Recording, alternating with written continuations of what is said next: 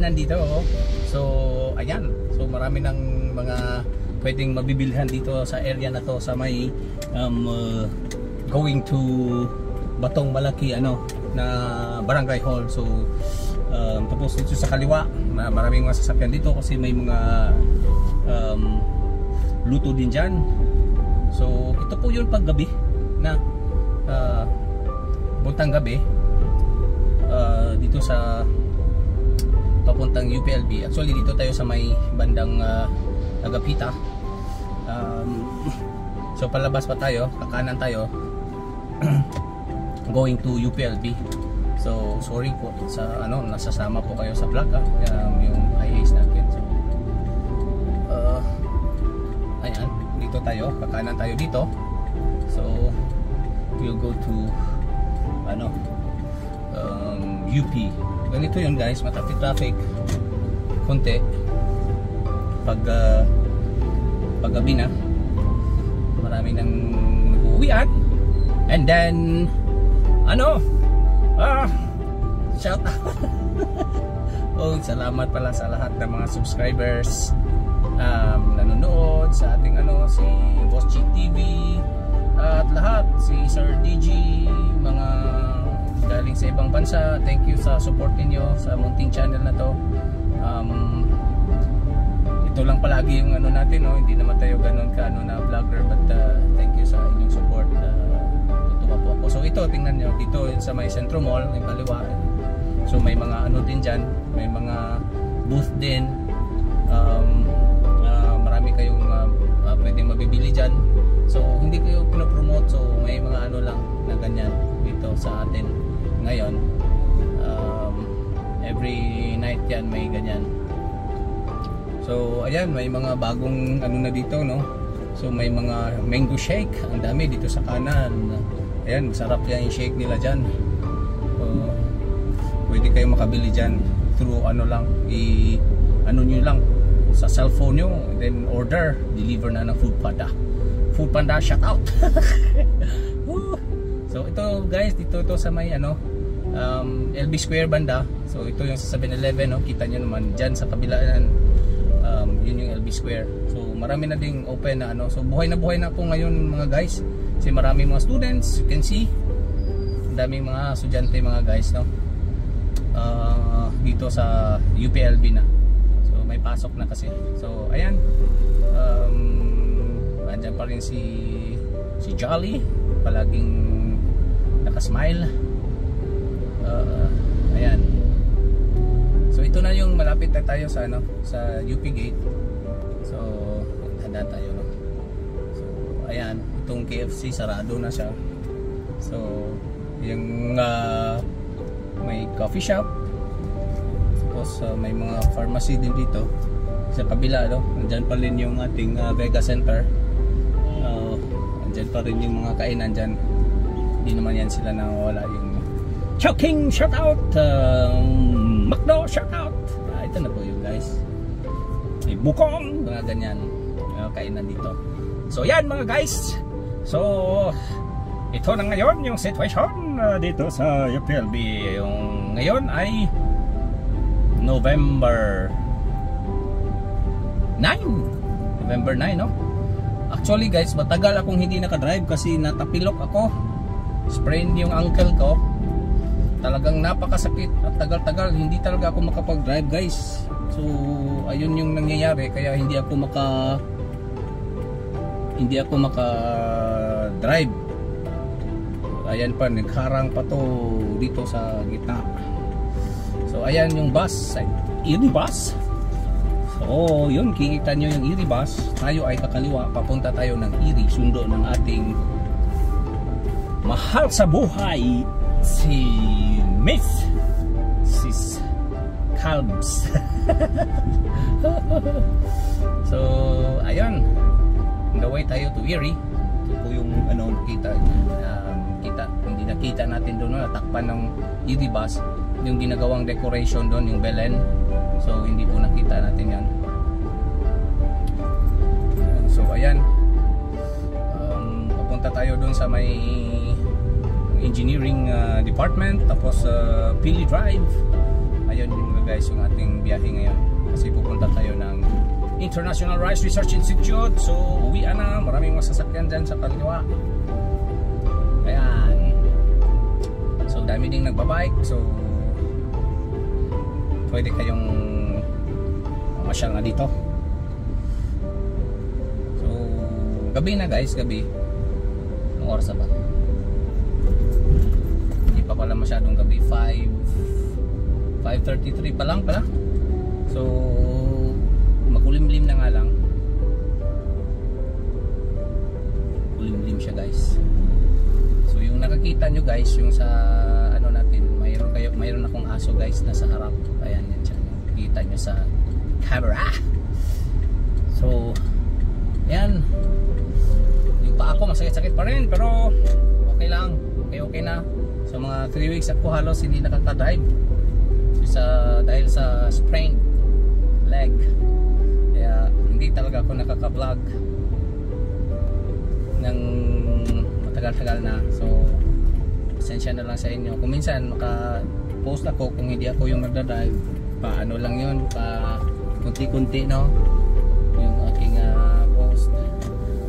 Pag may kasama ako sa travel ng aming office kunti-kunti lang yung ano ko So, ayan mga guys. Um, ito po yung papuntang engineering department na. So, didiretso tayo. And then, kakaliwa din tayo dito, papuntang Billy Drive. Kasi pupunta tayo ng International Rice Research Institute. So, tuloy-tuloy pa rin yung mga construction dito guys. So, as you can see in front of us, still um, ongoing the construction. So, busy pa, busy din dito sa UPLB, daming mga constructions. Yung mga buildings na mga bago marami. So ito yung Pili Drive guys uh, paggabi. So ayan.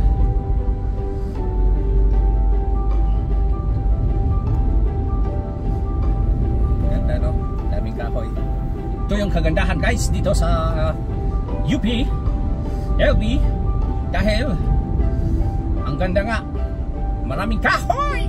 Hoy! Hoy! Hoy! Hoy! So maraming kahoy guys. Dito sa UPLB so as you can see we on the light now but it's dark. naman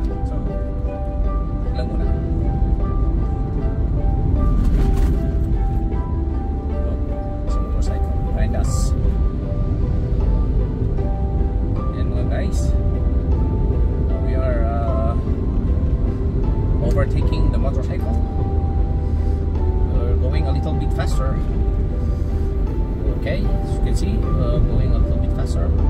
And then yeah. We are near! We are near! We are near! We are near International Rice Research Institute. Okay.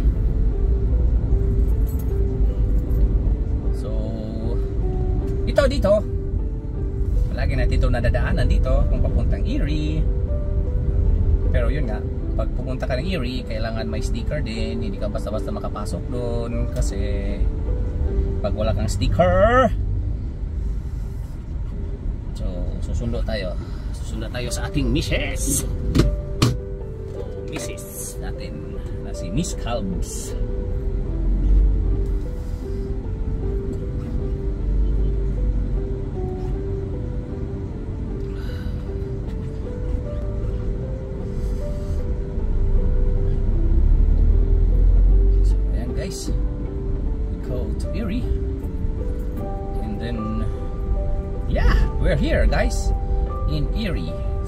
So yun guys sa uh, Erie paggabi.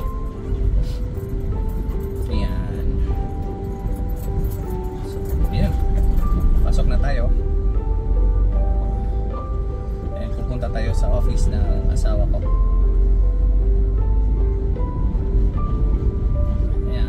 Erie to guys yung uh, mga palay niyan guys sa kanan guys malapit na yun ma-harvest so ano na siya naka um, mat- maturing stage, maturity stage.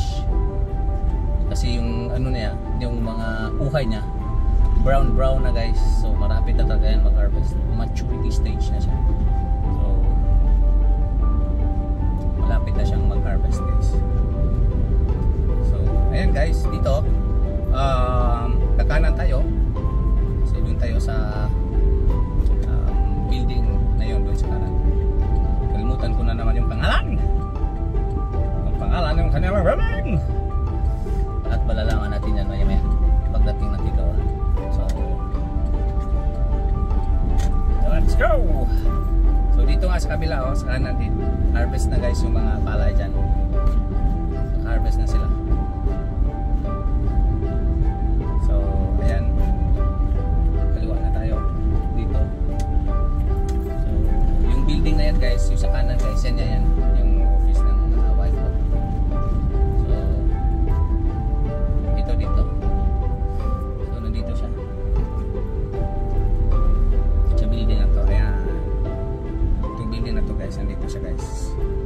pangalan ng building ay NC Brady Laboratory. Ayan, NC Brady Laboratory. Dito siya guys. Titingnan natin guys ha. Saglit lang. Andun siya guys oh, naglakad. Ayan siya. So, ayan, ayan si, si boss. Kita nyo na siya no. Ayan, papasok na siya, papasok na. Sama na siya natin. Ano? Andyan ka, andyan tayo. guys. Diretso na tayo kasi nandito na yung boss ko. Let's go! So, balik tayo, babalik. Dun sa UPLB and maya maya pakita ko sa inyo. Okay.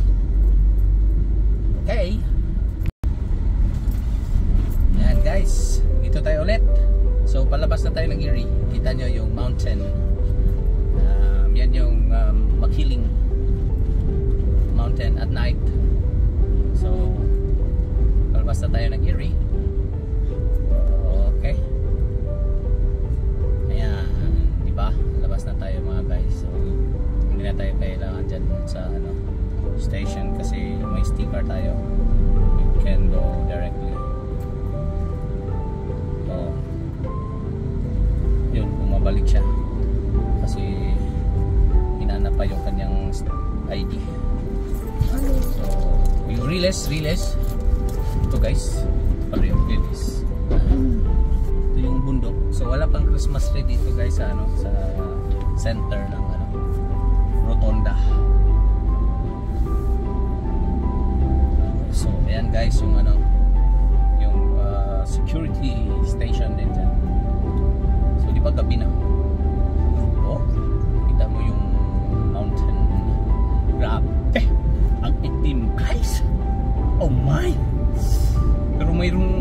Bahay dun sa bundok guys, so hindi nyo lang kikita. Pero mayroong ilaw na sa bundok.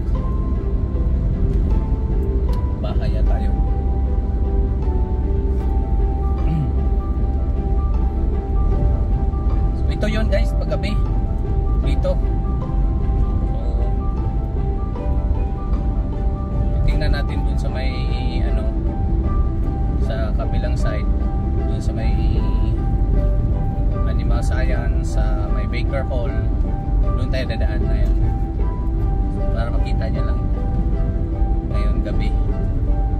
November 9 ngayon no? November 9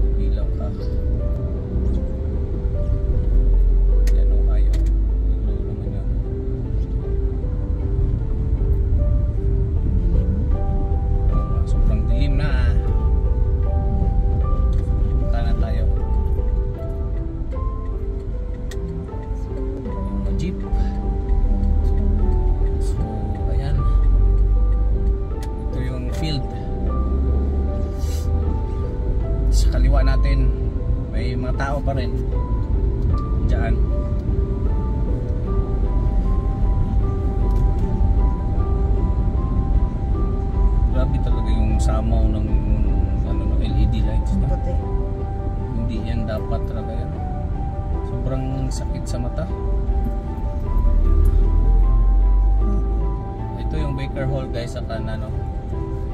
So dito tayo ngayon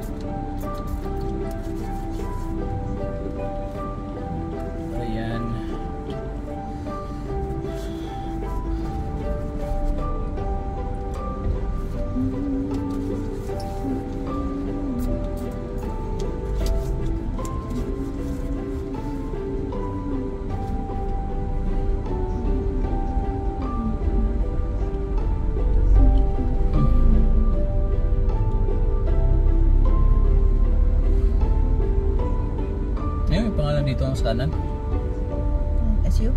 SU eh? Ang SU? Student Union. Ah, sa kanan yung student, student union building pala to yung sa kanan guys. Yung may aking puno. Dati may 7-Eleven din dyan pero sara na sila yung pandemic. Yan, daming mga estudyante na dito. So, balik sigla na. Daming nagbabike. May mga jeep. Ayan, daming students dito.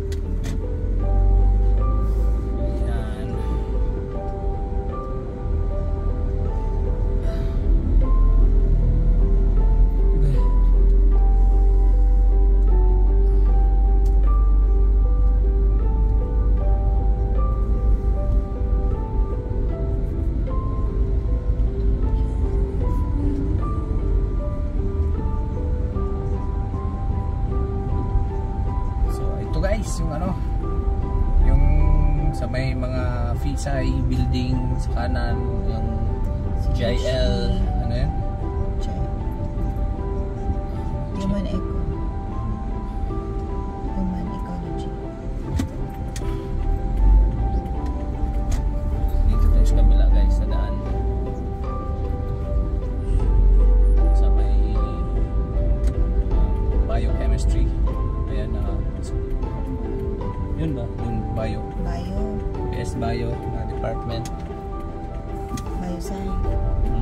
años ahí.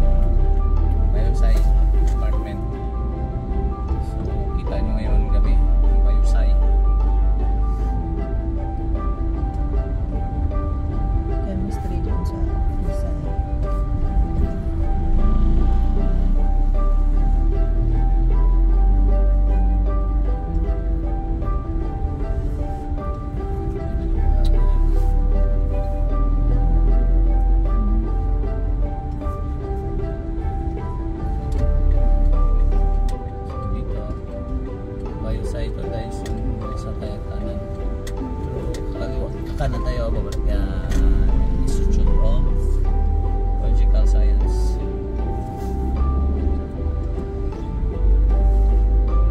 And then, yung office to ng ano eh, kaliwa eh. Office ng Vice Chancellor. Tapos yun, CSI yung nasa harap natin. Oh, kanan tayo. Tapos dito tayo sa um, kakaliwa sa may ano um, may ano ba? Hmm? dito yung labasan natin Raimundo? Raimundo Gate Raimundo Gate tayo guys so dito tayo papasok Ulam kadaan ba dyan? Pwede ba? Bukas ba? Ah, bukas, bukas guys sa Raimundo Gate tayo dadaan guys ha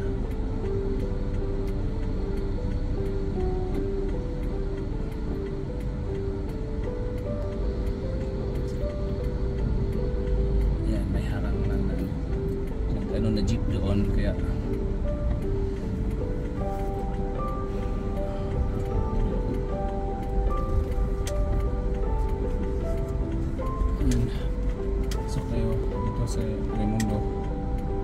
Kita nyo din yung Raimundo. Yan, marami ding open na mga kainan dito guys sa Raimundo. Ayan, daming students. And everywhere are students. Uh, as you can see, there's a lot of them. They're just sitting everywhere and eating as you can see and then there's a lots of kids and all of them are are there beside the road. So there lots of um, mga ano na guys yung mga stores na open mga pagkainan. Ayan dami na dito guys sa may Raimundo. So yan sa kaliwa daming kainan dyan. Lots of food everywhere okay?